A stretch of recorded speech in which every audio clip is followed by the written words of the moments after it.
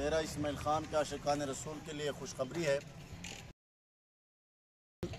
जिस तरह के हजूर की दीन की पहरेदार जमात है 2018 से लेकर अब तक जितने भी इलेक्शन हुए हैं, चाहे वो बल्दियात के हो, जनरल इलेक्शन हो ज़मनी इलेक्शन हो, और मौजूदा जो ज़मनी इलेक्शन है पाकिस्तान के अंदर, उसमें एक हल्का हमारे डेरा इसमाइल ख़ान का भी है।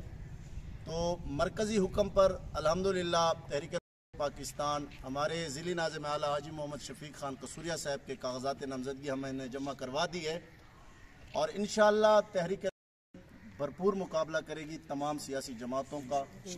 और हुजूर के दीन के लिए हम हर मैदान में पहले सफ़ों में मौजूद होंगे इन चाहे वो ख़त्म नबूत की पहरेदारी हो या हिफाजत कुरान का मसला हो या हुजूर के दीन के लिए सियासत का मैदान हो इन पहले सफ़ों में हम मौजूद होंगे।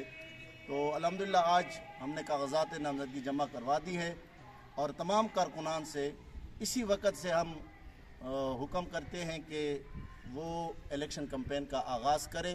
भरपूर अंदाज में इंशाल्लाह इलेक्शन लड़ा जाएगा। तो तमाम डेरा की जो गयूर आवाम है उनको भी गुजारिश कर दें जी। कि वो भी डेर इसमाइल खान की तमाम गयूर आवाम तमाम आशिकान रसूल से गुजारिश है कि वो हजूर सल्लल्लाहु अलैहि वसल्लम का दीन तख्त पर लाने के लिए तहरीक रबैक पाकिस्तान का साथ दें हमारा साथ दें।